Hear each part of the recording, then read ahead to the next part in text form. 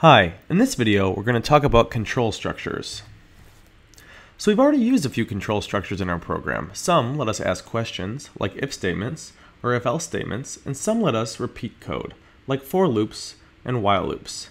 And the reason they're called control structures is because they let us alternate the control flow of the programs, or the way that the commands execute.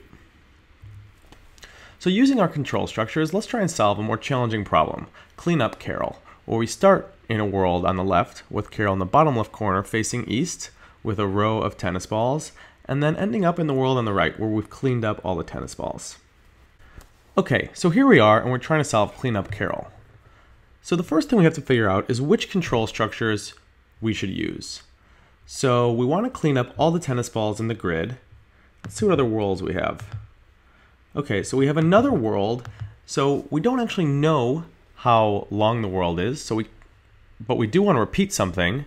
And since we don't know how long it is, we'll have to use a while loop. We'll have to repeat something while a condition is true. So we'll say while front is clear. And so what's the thing that we want to repeat?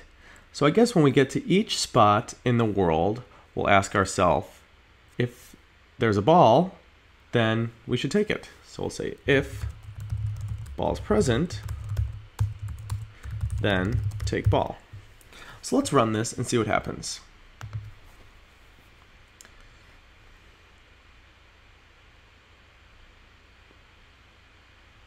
Oops, it looks like we're getting in ourselves into a little bit of a loop.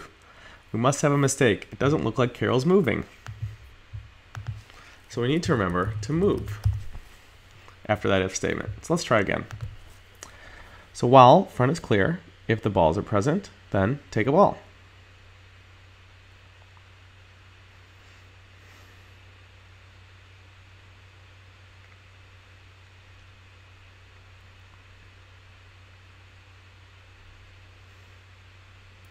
All right, so it seems like we almost have it, except for we forgot to get that last ball.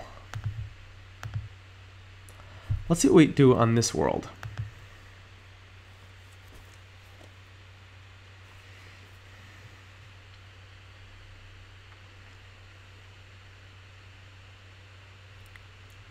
All right, so this is working as well, except for that last one. So let's see if we can figure out what's going on.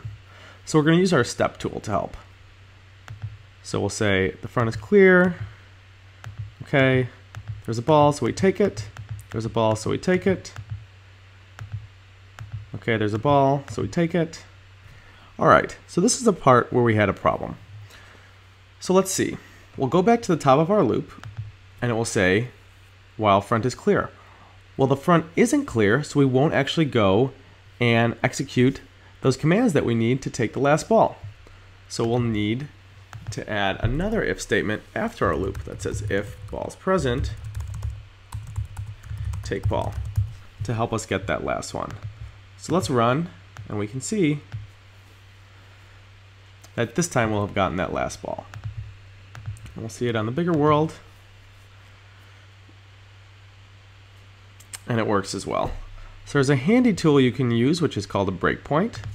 If you click a line and run, the code will actually stop when you get to that line. So you can see what's going on. So we get to this line and we'll actually say, okay, if the balls are present, then we'll take the ball.